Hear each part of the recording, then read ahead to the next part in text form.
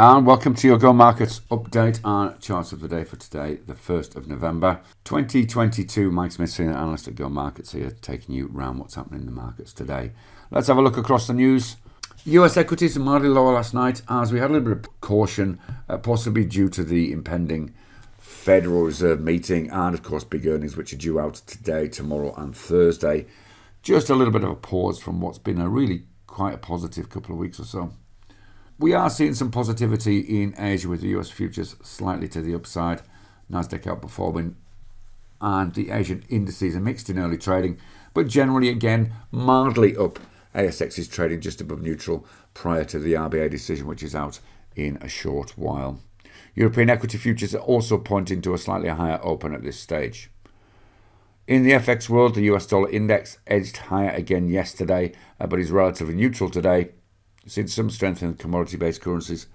We've got further weakness in gold on the back of that USD strength, and it may test 1620 support after breaching 1650.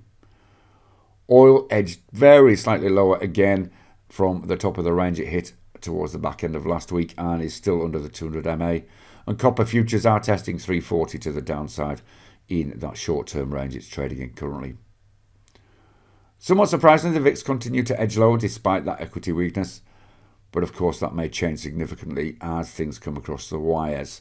And Bitcoin has just about held on to 20,000 overnight. It's a busy day. Again, we've got lots going on. We've got the RBA decision, as we've already referenced.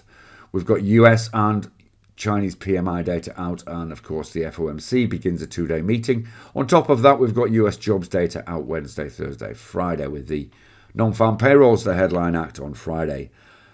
Mixed in amongst all of this is big earnings, of course. We've got some fairly big players tonight. AMD will be particularly interesting in that semiconductor space, but Eli Lilly, Airbnb, Newmont Mining, and Uber, amongst many others, will be picked apart in terms of where they're at and where think are going to go next. A couple of charts of interest that caught our eye this morning. Uh, we'll start with the Kiwi Yen. You can see there we are potentially breaching on the daily chart a key level at 86.50. You can see that move up in today's trading. If we just pop it on an hourly chart, there it is. Over the last hour or so, it'll be interesting to see how far this goes. But we, if we go back to the daily chart for reference, you can see there there's a fairly significant potential move up of around about 80 pips to the next key level. So that may be worth bearing in mind when making your decision making about how far this could go if there is some buying pressure retained. In stocks, as I said, it's a fairly mixed day. We are seeing Seek looking pretty impressive. You can see there, key level at 2150. We are trading towards the high of the session right now. And after yesterday's attempt to break it, it looks as though there's some buying pressure in there to finally push us through.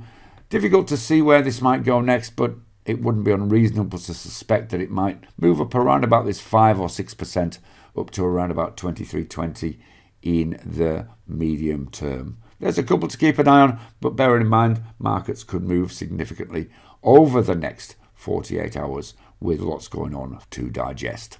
Trade safe, and we'll see you again soon. Bye bye for now.